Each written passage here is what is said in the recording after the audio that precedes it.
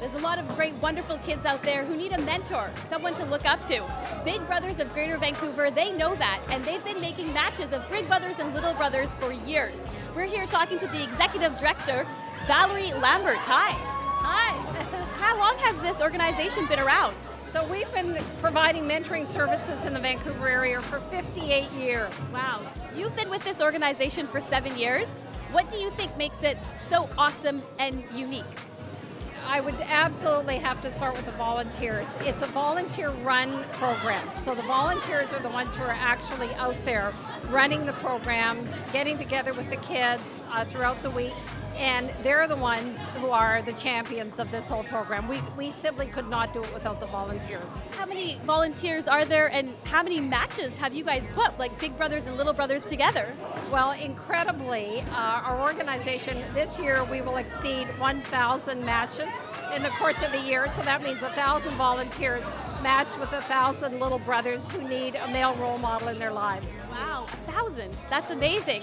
And I feel like we all have the ability to, you know, be a big brother or a big sister and and then learn in return from, from kids because they have that magnetic energy that brings something else out in us.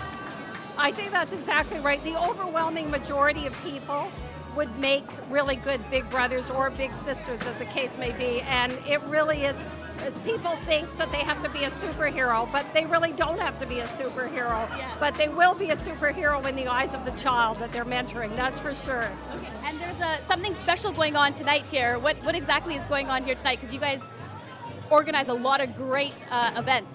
This is our Scotiabank Bowl for Big Brothers event, and it runs throughout March and April at bowling centers throughout the lower mainland. And people come out and bowl for us, and they raise pledges, and then the funds go to Big Brothers to support the mentoring programs. So, besides the, the Classic Bowl, what are some of the other things that you guys have organized?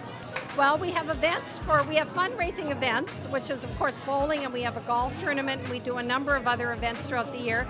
But we also have events for the children. Kids get to do an incredible range of things. And, and of course, they also do a lot with their big brothers. Awesome. Okay, so if you think you have what it takes to become a big brother, if you want to get involved or learn more, go to the website, bigbrothersvancouver.com. Thank you. Thank you.